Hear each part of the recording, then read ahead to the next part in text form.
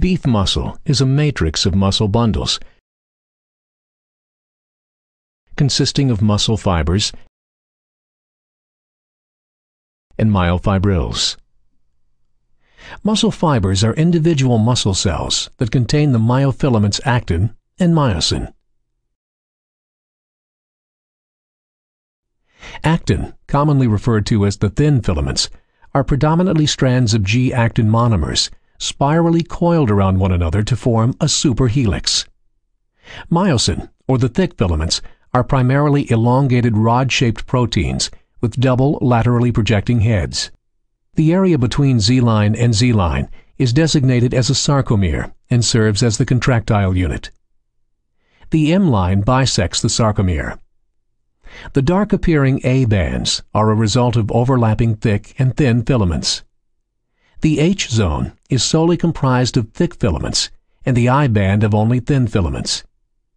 Both the H zone and the I band are areas where thick and thin filaments do not overlap, causing their light appearance.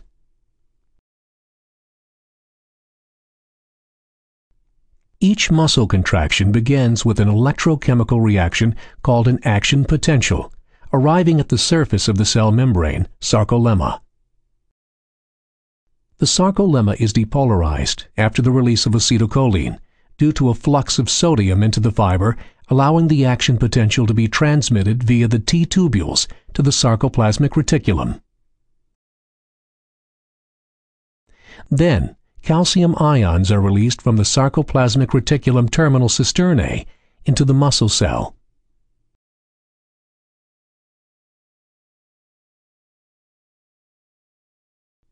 Myosin binding sites on actin molecules are overlapped by tropomyosin, which is coiled around each actin helix. Calcium ions bind to troponin C, part of the troponin complex, located on the tropomyosin every seventh G-actin within the actin helix, exposing the binding sites by shifting the tropomyosin.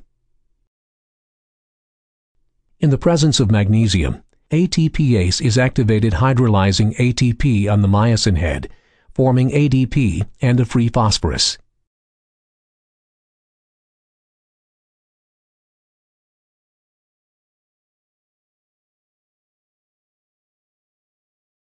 Swiveling of the myosin head positions it to be bound to the myosin binding site on actin, forming a cross bridge.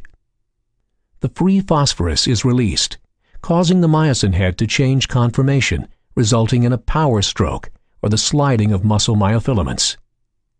ADP is released, leaving the myosin head attached to the binding site until ATP rebinds with myosin to release the head. As long as calcium ions remain at a high concentration in the muscle fiber, this sequence will be repeated until full contraction of the muscle is reached. Relaxation Once the muscle is completely contracted, cholinesterase initiates relaxation via the breakdown of acetylcholine. The sarcolemma and T tubules are repolarized, and the sarcoplasmic reticulum calcium pump is activated in order to return calcium ions to the sarcoplasmic reticulum terminal cisternae.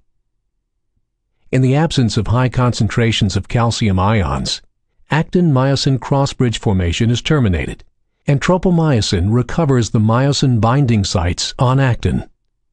A magnesium complex is formed with ATP returning the myosin heads to a resting state.